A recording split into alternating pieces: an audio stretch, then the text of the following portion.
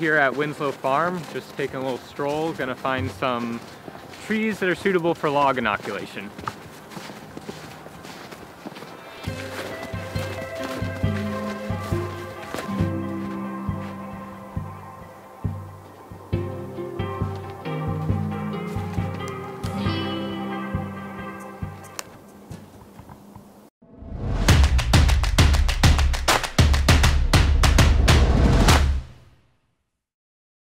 Hi everyone, I'm Jon from North Spore Mushrooms. I'm one of the co-founders and the head mycologist. We're out here in the Maine woods. It's about mid-March to find a log to grow shiitake on. This has always been the traditional time for uh, felling a tree and cutting logs. And the reason is this time of year, tree species retain all of the sugars and energy they've accumulated during the summer months into the wood, right? So when we're cutting the tree down now, it's got the highest energy potential. Now that being said, as growers have continued to experiment with log cultivation, we've also found out that you can cut down a tree pretty much anywhere from midsummer into late fall. And there's different techniques depending on the time of year you cut the tree. But today we're going to be focusing on this sort of midwinter inoculation and what's involved with that process.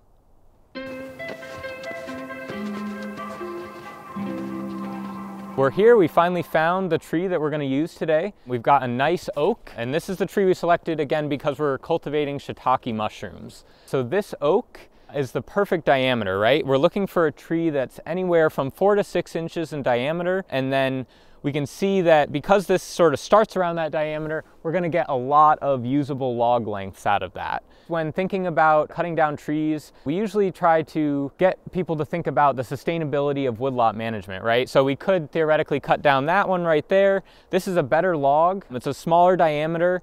It will help this tree grow larger and then repopulate the stand that we have here. We also have our tractor here. Um, this is gonna help us once we cut up our logs to haul them out of the woods and then bring them to a warmer location where we can do the inoculation.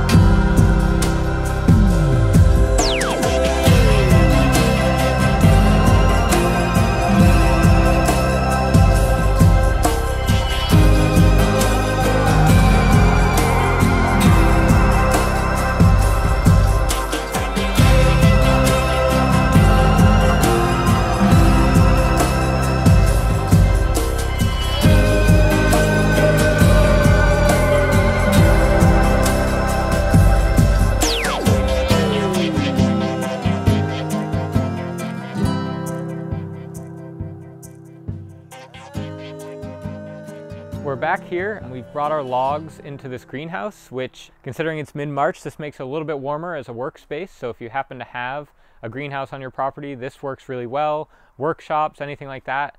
Uh, it's also really nice to have power because then you can use things like this crock pot here, which we have for melting our wax. So we're going to take this log we've cut and we're going to inoculate it with shiitake mushroom spawn. Uh, the spawn we're using today is sawdust spawn. So this is just the mushroom mycelium that we've grown on sawdust. And we're gonna be drilling holes throughout the log, filling those holes with sawdust, and then sealing them with wax. And that's basically the process. And I'm just gonna go through that process, show you how it's done, and show you some of the tools that we use to accomplish that. The first step of the process is actually drilling the holes in the log. Uh, you can use a hand drill for this, but it makes uh, the drilling part probably the slowest part of the process. So what we really recommend, especially if you're doing more than say like five logs, is to actually upgrade and get an angle grinder adapter that allows you to use a mushroom drill bit with an angle grinder versus a hand drill. Um, so that's what this is here. This is our angle grinder adapter. And then what we also use is a specialized drill bit. And this drill bit is basically the right size that you need for sawdust spawn. It also has a stopper on it that goes to the right depth in the log and it's designed to shoot out the chips, clearing the hole. So we'll use these two pieces in conjunction on an angle grinder. And this is the angle grinder with that all installed, that setup. So we've got the adapter and then the 12 millimeter bit that goes on here. And this bit is specifically designed to work with this inoculation tool. And so this tool is what allows us to get the sawdust from the bag into the hole. It's set up so that it fits with that 12 millimeter size of the drill bit. In order to drill this log, we're going to be using this angle grinder uh, with the tools that I mentioned, so the adapter and the 12 millimeter bit. Because this spins at such a high RPM, it makes the process a lot faster. Uh, so I'll demonstrate that now.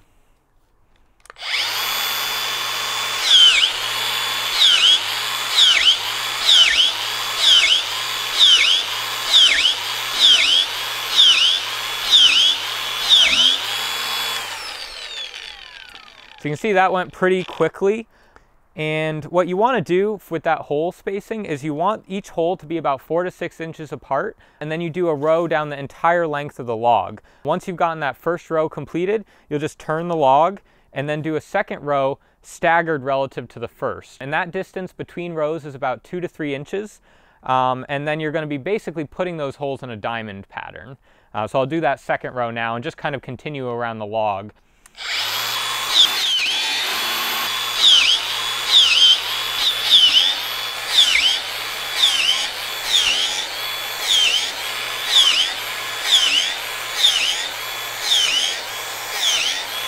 So now that we've drilled holes throughout the entire circumference of the log, uh, we're going to fill those holes with sawdust spawn. And so today we're using shiitake, but this procedure is pretty much the same regardless of the mushroom species that you're using. All right, easy access. So we're going to be using this inoculation tool and pretty much how this works is you just jam this into the sawdust a few times, it loads the end of this tool and then it injects it into the holes. So see that's pretty good, it's pretty flush and then we'll just go around and do that to all the holes.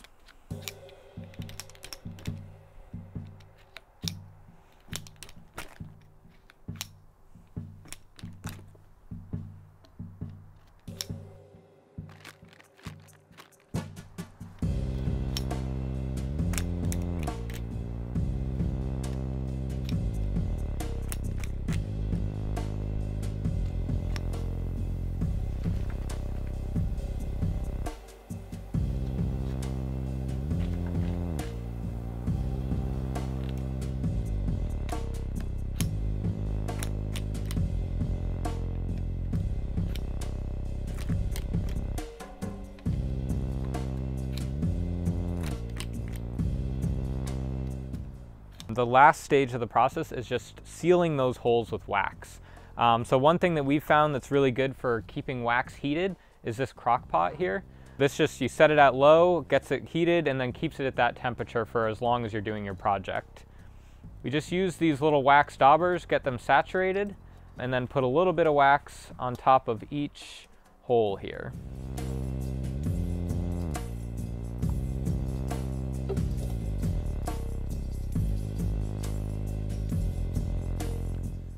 And you pretty much just go like this around the entire circumference of the log.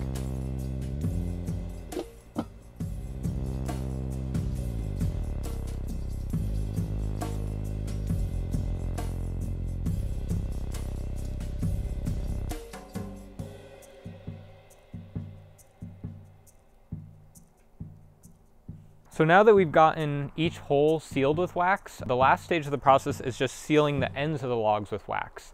Now, strictly speaking, this isn't necessary if you live in a really damp climate like we do here in New England. But what that does is it just helps retain moisture in the log. So this is especially useful if you live in a really dry climate or expect to have dry summers. But the other thing that it does, and the reason that we typically do it, is it allows the mycelium to colonize the log all the way to the end of the log and it allows us to see the mycelium that way. So we can kind of check on the logs, make sure they're colonizing well. So that's the main advantage to waxing the ends that we like to see, but especially useful if you're in a drier climate. The best way we've found to do this, you could just use a paintbrush to paint on the wax, but we just like to lift up the log and dip it into the crock pot.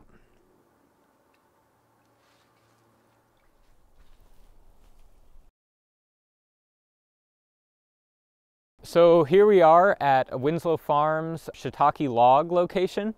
Uh, you can see they have all these logs stacked here for fruiting. In many ways, this is an ideal location. We've got a lot of evergreen trees um, with pretty low branches, which helps keep it shady, keep it cool during the summer months. It's hard to see it this time of year, but there's actually a pond right beyond the logs here. And that way, whenever there's a dry spell, they can just throw the logs into the pond, get them hydrating. Or if they want to force fruit the logs, they can throw the logs into the pond and get a rotational fruiting schedule that way. One thing that I'll talk about while we're here is how to stack logs and how you should manage your logs once you have them and they're fully colonized. Once you create your first mushroom log, you actually don't want to stack them like this. So this is a setup for fruiting the mushrooms. What you want to do is you want to keep those logs very close to the ground. So you'd lay out some pallet wood, put the logs close to the ground, uh, and that way that keeps them humid. That's the most humid part of the forest is right by the forest floor. When we do get winter and we get a snowfall, that snow actually covers the log and keeps them protected. One of the biggest things that's going to cause problems with your shiitake logs is that they'll dry out especially in winter when the air is super dry. So if they're exposed like these ones are, they're going to be more prone to drying out uh, during the winter months. Um, and so these look like there's some actually freshly inoculated logs over here. So this is more what you want to do. You want to keep them low to the ground. Um, this is actually nice because you can see the, they're starting to colonize. All this white on the ends of the logs is actually the mushroom mycelium. So this is a pretty good setup here. If you are sort of intensively managing your logs, you would also, right before the winter, you would want to take those stacks down and put them low to the ground so that they don't dry out. Obviously, there's a lot more labor in that, right? So, which is probably why these have just been left here. In terms of stacking the logs during the summer months, this is actually a really ideal setup, right? The reason that this is a good setup is that it allows for airflow around the log. So there, for one, it's easy to pick the mushrooms once they fruit, and that airflow encourages fruiting all around the logs. So a lot of times people will keep their logs low to the ground um, during the winter and then stack them up like this during for fruiting season during the summer.